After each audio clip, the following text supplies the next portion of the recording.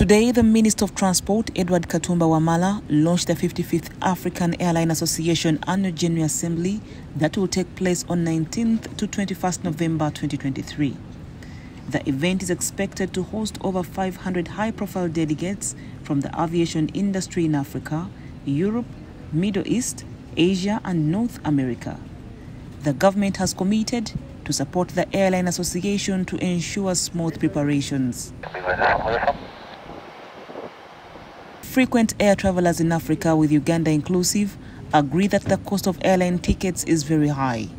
The Minister of Transport, however, says that plans are underway to reduce air travel charges in East Africa to ease movement of people, goods, and services. There are still issues which are, of course, affecting us and which will be addressed, hopefully, during that AFRAA.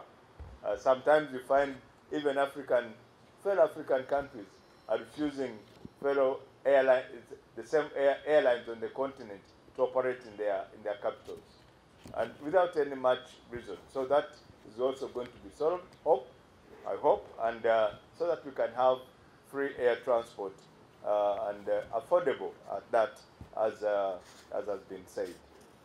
The government is committed to supporting the airline to ensure unimpeded preparations and alignment of all concerned sectors to ensure that the event is a, a success.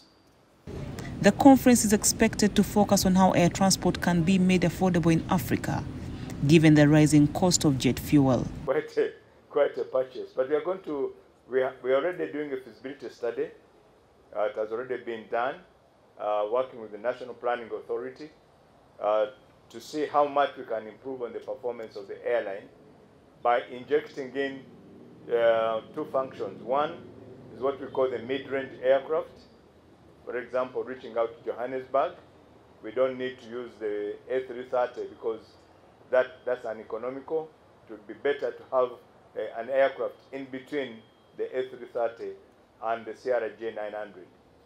So that's what we are looking at, uh, injecting in that kind of capability, and also uh, a cargo plane, because the cargo, especially fresh foods and flowers, that sector is growing very, very uh, highly, and we need to respond to it in terms of transport, because of the demands for our fresh foods, in, especially in the Arab world, is so high that we, we are not we are not able to meet uh, the transportation requirements. According to the executive director of the Uganda Airlines, Jennifer Bamuturaki, the conference is a big opportunity for Uganda to showcase its tourism potential.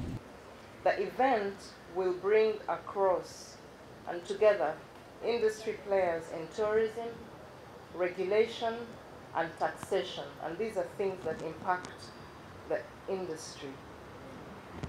Ladies and gentlemen, Uganda Airlines is honored to host the 55th AFRAA Annual General Assembly as the official carrier.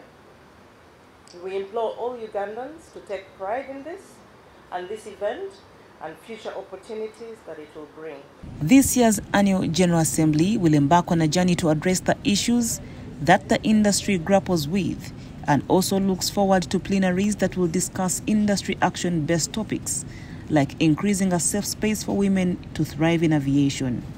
The event will also bring cross industry players in tourism, regulation, and taxation that impact the industry. Bamuturaki says Uganda Airlines is honored to host the annual assembly as the official carrier. Report compiled by Jaliat Namuaya for the news.